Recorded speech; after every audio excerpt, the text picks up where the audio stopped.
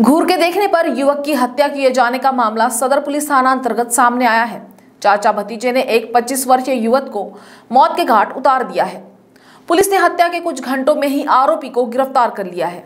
उपराजधानी नागपुर में हत्याओं का सिलसिला जारी है। सदर पुलिस थाना अंतर्गत सोमवार की रात एक हत्या का मामला सामने आया। मिली जानकारी के अनुसार सोमवार की रात 25 वर्षीय मृतक अनिकेत तांबे, उसका भाई आयुष तांबे और उनका मित्र दीपेश भुर्रेवार। ये गौतम नगर गड्डी गोदाम यहाँ कोल्ड ड्रिंक पीने के लिए गए, जिस दरमियान आरोपी भूषण सोमकुंवर से उनका घूर के देखने जैसे मामूली बात को लेकर विवाद हो गया। लेकिन उस वक्त वहाँ उपस्थित लोगों ने बीच बचाव किया, जिसके बाद वो लोग वहाँ से चले गए। लेकिन फिर आधी रात को लोग फिर से मिले और वहाँ उनका उसी बात को लेकर फिर विवाद हुआ। जिस बीच आरोपी भूषण सोमकुंवर के भतीजे जय सोमकुंवर ने अपने पास रखा चाकू निकाला और आरोपी के गले पर उससे वार किया। चाकू के वार से मृतक नीचे गिर पड़ा और वही आरोपी वहाँ से भाग खड़े हुए। पुलिस ने बड़ी ही चतुराई से कार्यवाही कर मानकापुर से आरोपियों को गिरफ़्तार किया है। मृतकचे नाव आहे अनिकेत तांबे, वय पंचवीस वर्ष, राहणार खलाशी लाईन मोहननगर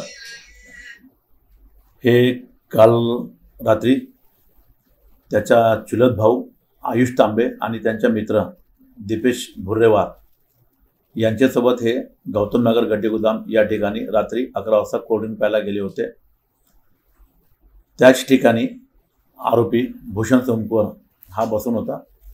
यांच्यात तेथे घोरावून पाहण्याच्या कारणावरून किरकोळ वाद झाला. तेथील जे हजर काही लोकांनी त्यांचा वाद सोडवला हे तिघही परत गेले. पुन्हा मग रात्री सव्वा बारा वाजताच्या सुमारास तिघेही पुन्हा तिथे परत आले. आणि घटनास्थळी भूषण सोमकुवर आणि त्याच्या पुतण्या जय सोमकुवर हे दोघे बसून होते. आणि पूर्वी झाल्याच्या वादावरून त्यांच्यात पुन्हा वाद निर्माण झाला. आणि या वादामध्ये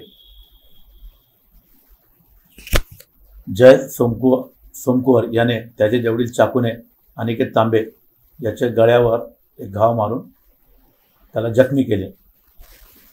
अनिकेत तांबे तिथे खाली पडल्यानंतर आरोपी तिथून पळून गेले. तसेच त्याच्यासोबत जे सो त्याचे दोन सोबती होते आयुष तांबे आणि दीपेश भुरेवार हे सुद्धा तिथून पळून गेले. पळून जाऊन त्यांनी जखमीच्या घरी माहिती दिली आणि मग जखमीचे नाते तिथे घटनास्थळी आले. त्यांनी जखमीला घेऊन विम्स हॉस्पिटल तिथे उपचार कामी नेले. डॉक्टरांनी तिथे तपासून त्याला मृत घोषित केले.